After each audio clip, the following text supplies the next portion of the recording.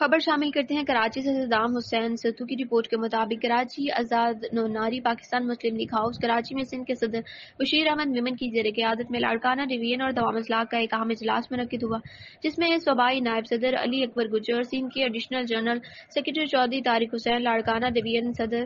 Ehsan Ahmed Soomro Larkana division general secretary Hameed Ullah Sardar Teghu Khan Jacob آباد صدر عبدالعزیز سومرو شکارپور صدر بشیر احمد بروہی، کندکوٹ کشمور صدر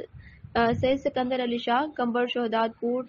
صدر حاجی نور محمد بٹی، ڈسٹرکٹ لاڑکانہ کے سینئر نائب صدر محمد خان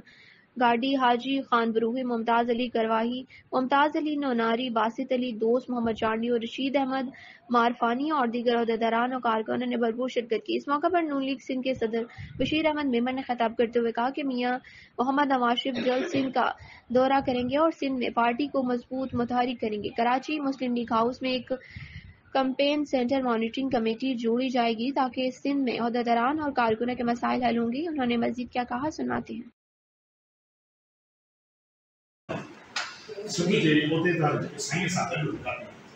انہن کے چھوڑو بابت کے رسول جو کرو مرکر جی جان جگہ جگہ تھا یا